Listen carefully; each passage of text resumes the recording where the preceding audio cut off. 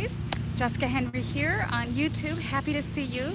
Um, I am here at a park and you can hear them mowing the lawns, doing all kinds of stuff. This is actually where I was last week and it was really cold and windy down here by the water. But today it is a gorgeous day. And so I just wanted to show you, I was asked um, to show my setup last week. So that's what I'm gonna show you here.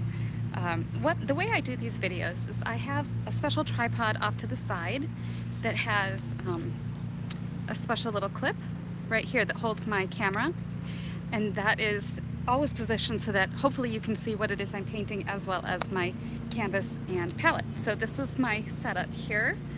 As I have that, you can see my backpack down there that I carry everything in.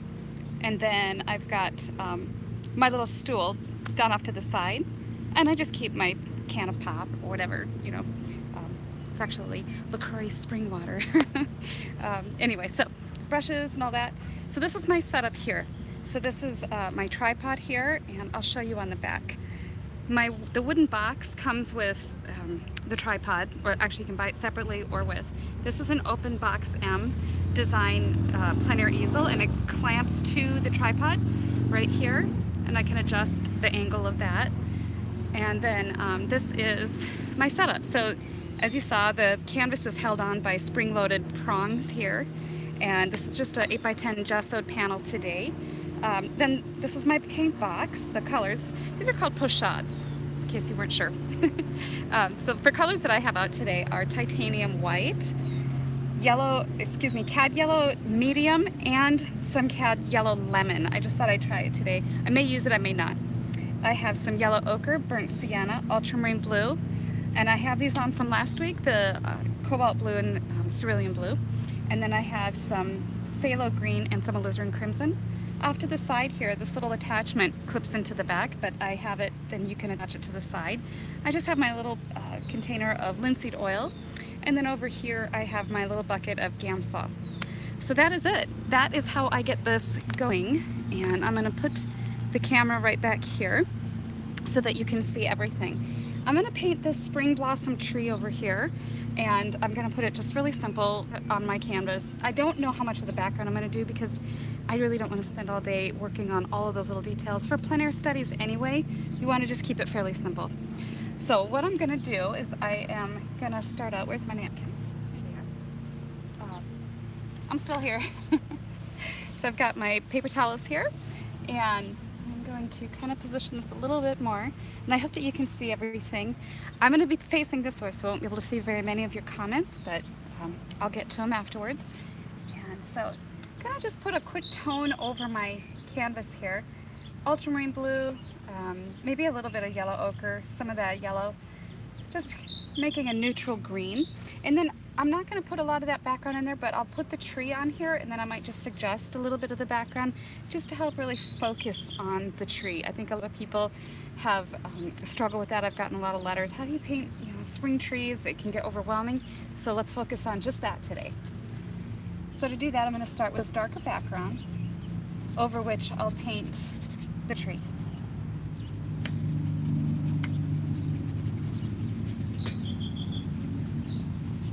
Such a beautiful day. It's so different than it was last week.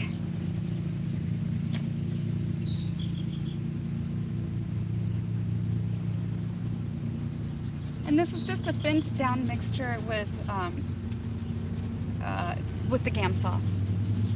And there was some alizarin crimson on my finger when I was setting this up. So, so we have some violets in there. It's okay.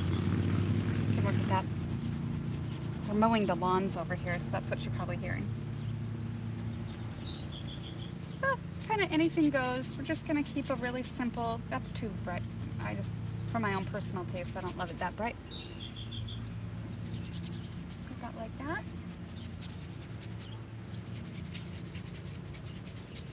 Lake Erie is very calm today. It was pretty wild last week. Of course, not compared to the ocean, which can get very wild. All right, so now that's really slick and I couldn't paint on that at this moment. It would, the paint would just slide all over. So I take my paper towel and I kind of wipe some of it off. So I make them. Uh,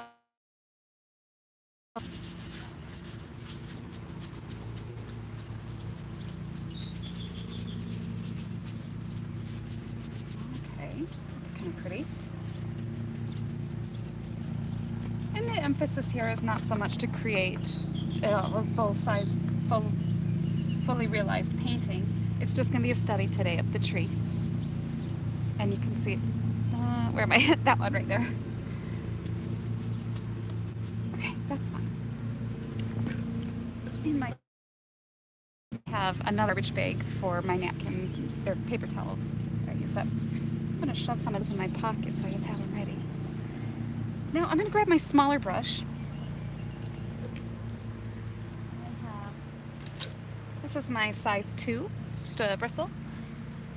I'm going to jump into getting a little bit of that darker, um, just a darker mixture. I want to just draw in the, the bones of the tree, the basic structure. Just a little burnt sienna, ultramarine blue. I hope you can see that on there.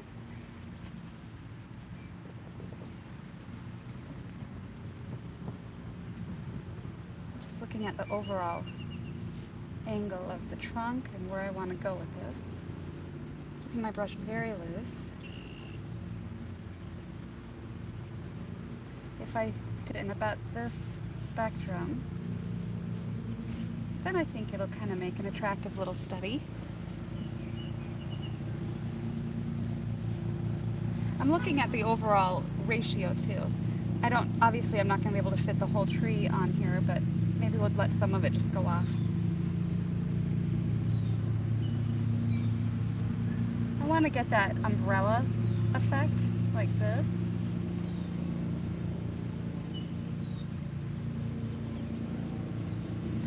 Okay.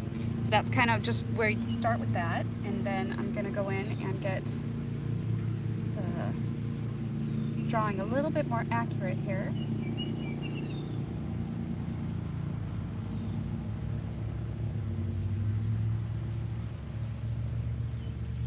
And I didn't start out with the thumbnail sketch today because this is just a study of the tree. So the way I did that is um, I just gently drug the brush down, letting it pause as I was checking back there just the angles and the subtleties of the branches as they come down. And then where it got a little bit thicker, I just applied a little more pressure onto the brush.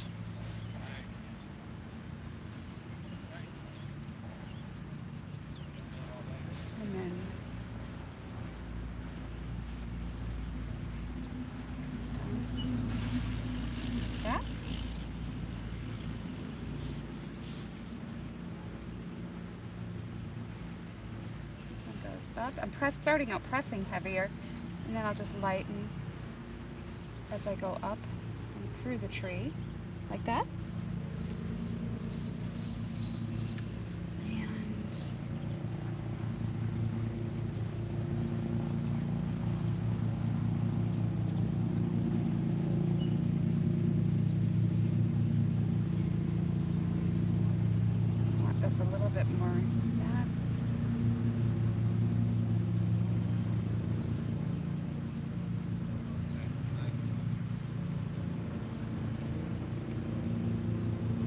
Hi, good.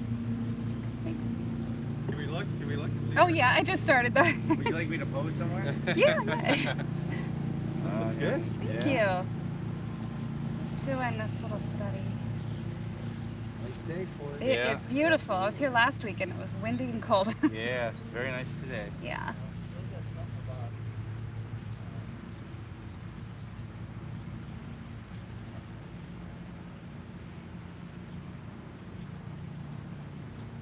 Okay, so I'm gonna let that just fade and because there's blossoms in the way, I'm not worried about what's happening there. Okay.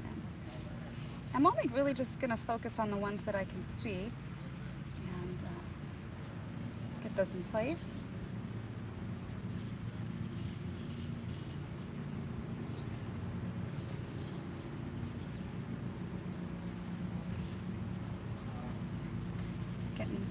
Low on my paint here.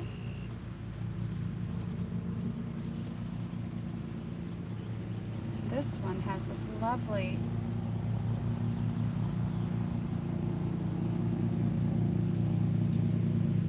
that comes out.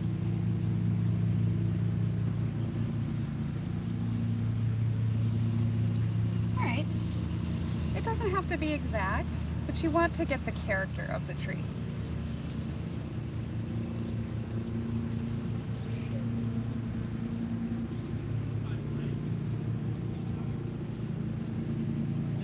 Just make that a little darker down there. What I love about trees is that they get this bounced light down low here, and then they get dark, the branches all get dark right around in this area.